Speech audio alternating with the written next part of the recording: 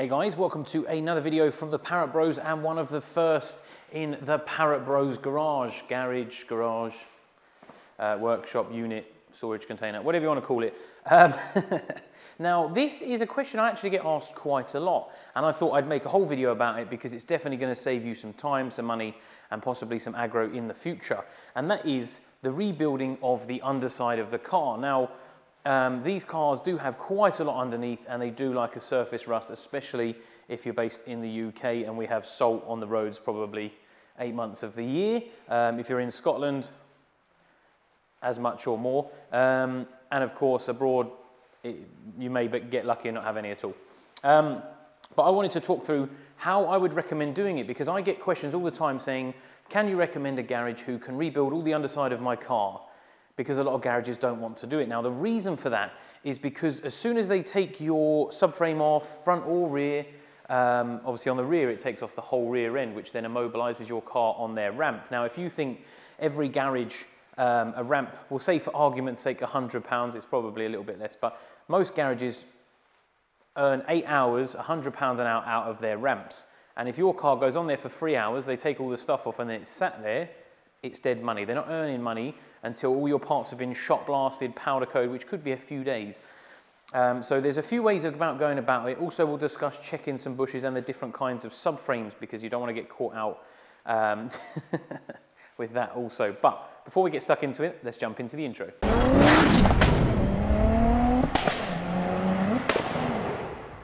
Okay, so corrosion is quite a big deal um, and it's something that obviously a lot of you want to deal with going forwards. Now, if you look at this rear trailing arm, for instance, it's not too bad. This is actually one of my spares. I mean, you can see there, there's some flaky rot, um, but it's not actually that bad. Again, front arm, not too bad. This subframe is definitely at the right point in which to do something about it. You can see it's not too bad. There's definitely no holes in it or anything, but there's some surface rust around the outer edges um, and on the corners, but nothing that structurally affects this. Now this one I took off of my Noggy, I believe, um, and actually snapped one of the studs, so that is unfortunately one of the issues the dog bones um, can break. Um, but not the end of the world, we can definitely get that out because there's plenty to, uh, to bite onto there. Uh, let's have a quick look underside the car. Now this is just a farm car, so this has done 175,000 miles. It's a V-reg, so one of the oldest. And as you can see, everything looks between brown and cream, cream being the mud, brown being the rust. Um, and what you would usually do is you would look at swapping both of those arms, which is this one and the one above.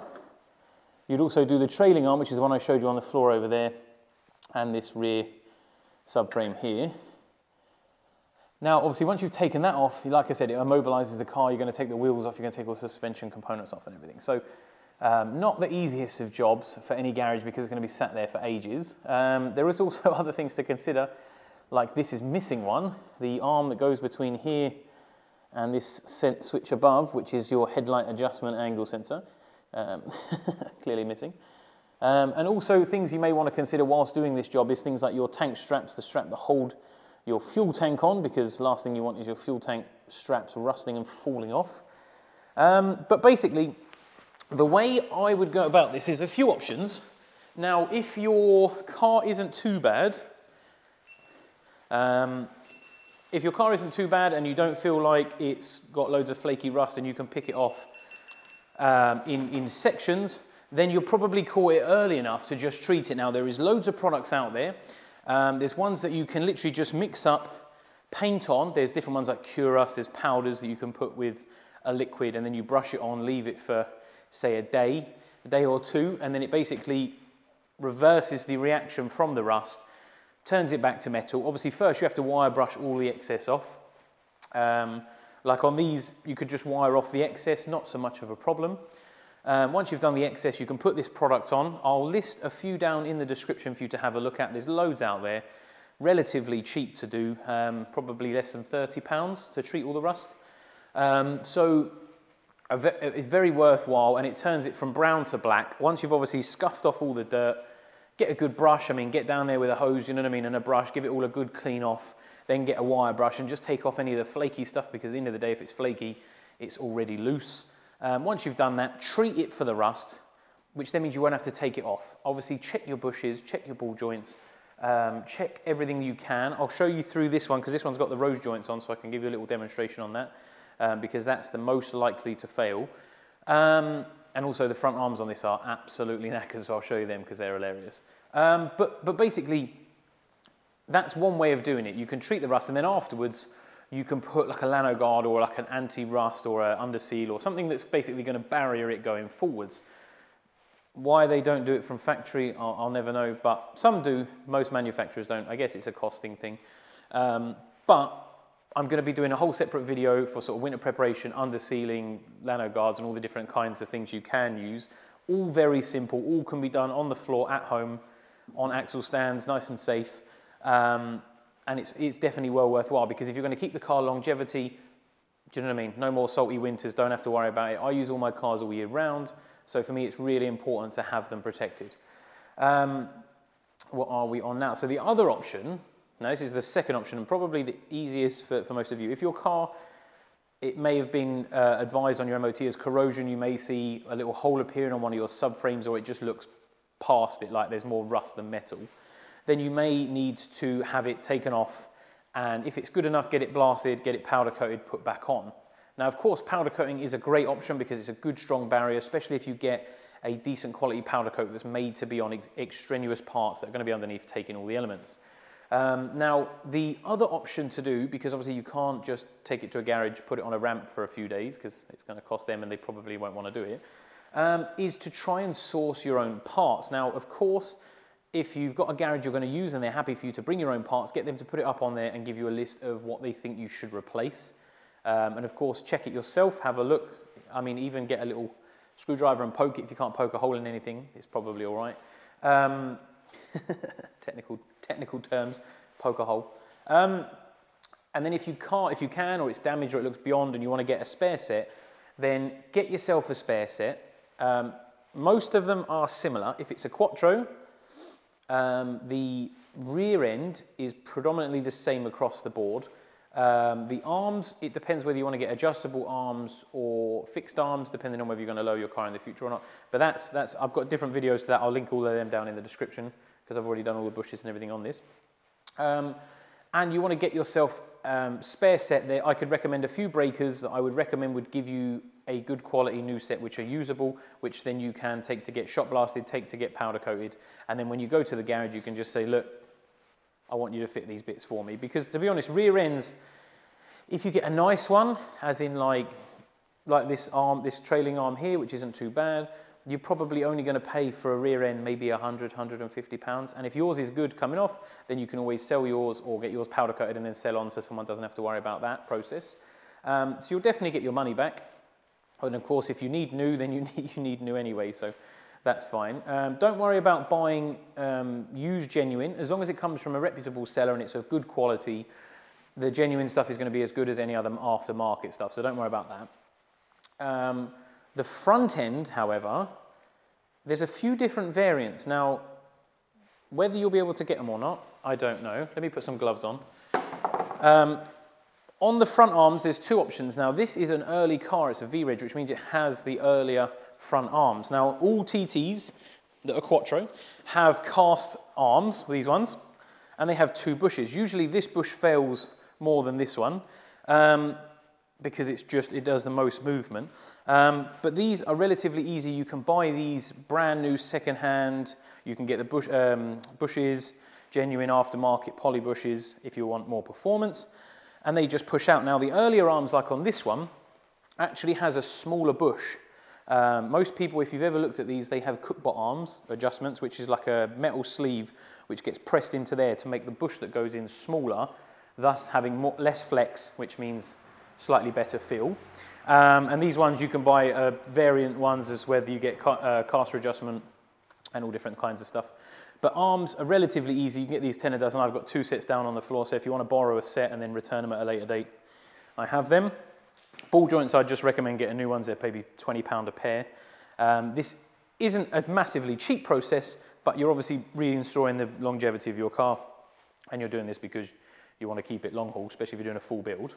Now, with the front subframe, there is, believe it or not, there's three variants. One or two are harder to get than the rest. Now this is a 2251 off a coupe.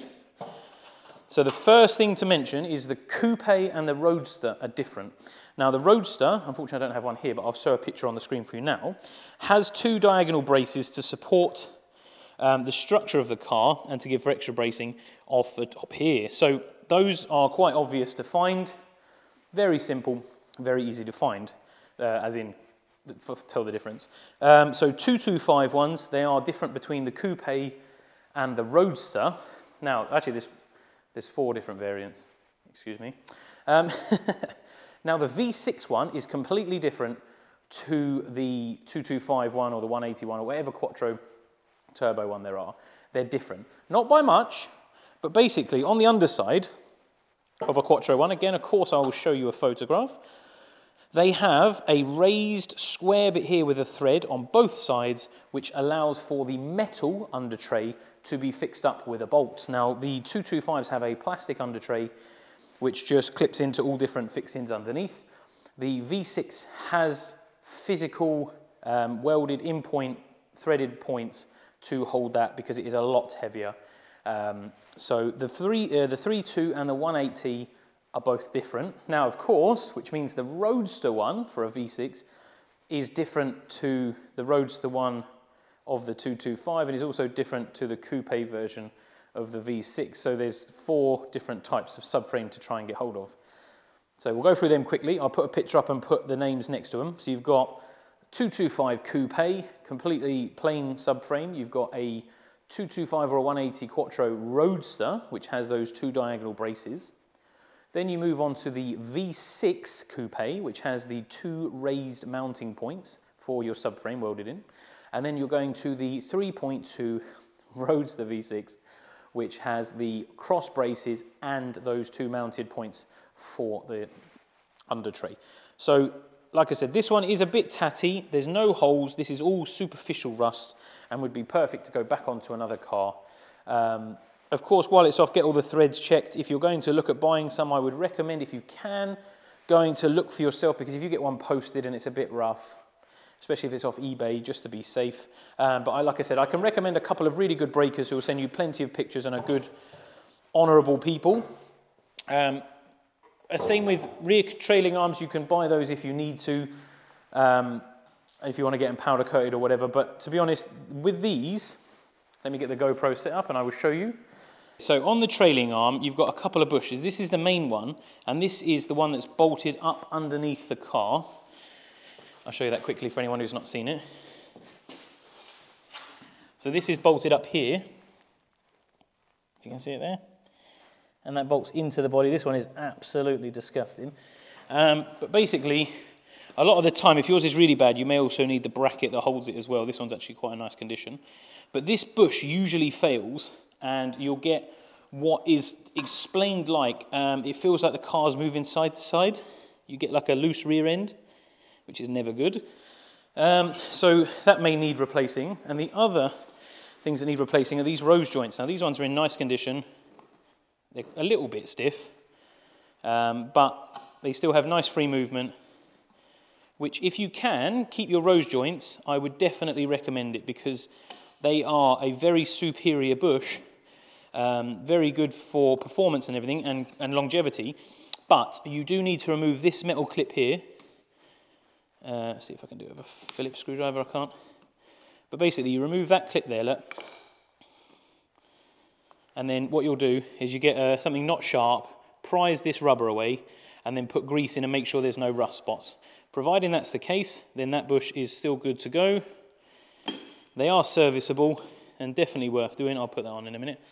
Um, but that is what is worth checking because if they fail and get seized and stuck, then there is a very good possibility that you will um, snap a rear trailing arm, which of course is A, dangerous, and B, not what you want. Um, so that's kind of what I would do with those. Um, but yeah, so I've had quite a lot of people message me in the past and say, look, I've been to garages, I want to have my, my rear end or front end or whatever refurbished, powder coated, painted, whatever, and a lot of garages have turned away. Now, I've got a couple of people that may do the job because they have multiple ramps or they're specialists in their field, um, and they probably won't mind doing a rebuild. I'll put their details down in the description. The main two are CJ Mechanical and Bryn BWSTT. Bryn, of course, if you watch any YouTube, you'll have seen him as the other handsome, well, sturdy man with a small beard, who often gets confused for me, apparently. Um, but he usually will take on a rebuild or he'll have the spares or, or, or he'll be able to do something with you. Um, for sure, maybe he comes to yours, strips it all off, you get it rebuilt and then comes back and puts it back on again. Um, and CJ Mechanical, again, both Midlandsy based. Um, but like I said, other garages may do it, but you may have to go down the route of sourcing other spares. I'll put down a link to a few people. If you can't find any, then drop me a message and I'll quite happily forward you their details to contact them because they are um, probably the best breakers in the country. Um, because it's always nice to find someone who's reliable, tests and sends you stuff they, they actually pictured rather than just any old crap. Um, and I hope you found this helpful because I obviously want to keep these cars on the road as long as I can. If you can get to it before it comes to a point where you need to remove it, amazing because you can do all the work on the floor at home. Make sure you've got your PPE, your goggles, your ear defenders because you don't want rust in your eye. You don't want probably under seal in your eye. Um, safety first. But it is a great way of doing it. If you can do it on the car, perfect. You can get to it and it's quite a nice satisfying job. You've done it yourself and you know in the, in the future it's going to be really, really important. Also, while you're there, do your inner arches. I'll stick the old GoPro on again and have a look. Because again, this is really important. Um, this one isn't too bad actually, as it goes, but it's mainly just dirt. But give it a good clean. There's little clips here, like that clip there is really rusty. Um, they obviously get really bad under here where they get a load of crap in them. The front's the same. But while you're there, do all of it, check your brake pipes, get, get all this under sealed and coated because obviously this is under a splash guard, but look at all the dirt that's still up here. Over time, they rust and rot. Uh, look at, I mean, there's a little bit there.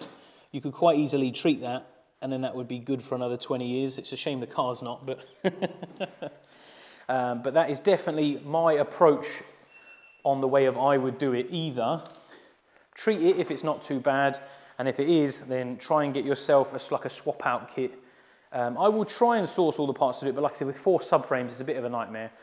They are a bit more expensive for the V6 and the Roadster because they're not as common.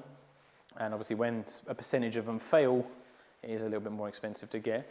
Um, I hope you've found that interesting. I hope you found it helpful to some people because I know a couple of people have messaged me this week about uh, similar scenarios. So hopefully that will help you going forwards. Um, if you appreciate this channel and you, you take value in the content, then please, if you want to, of course. Um, you can join our Patreon and support the channel and the community, make more great videos, keep the lights on and keep the rain away. it is dark outside and raining, so the ideal combination. But um, all the details for that will be down in the description. Go check it out, really appreciate that. Thank you for everyone who's already donated. You are absolute legends.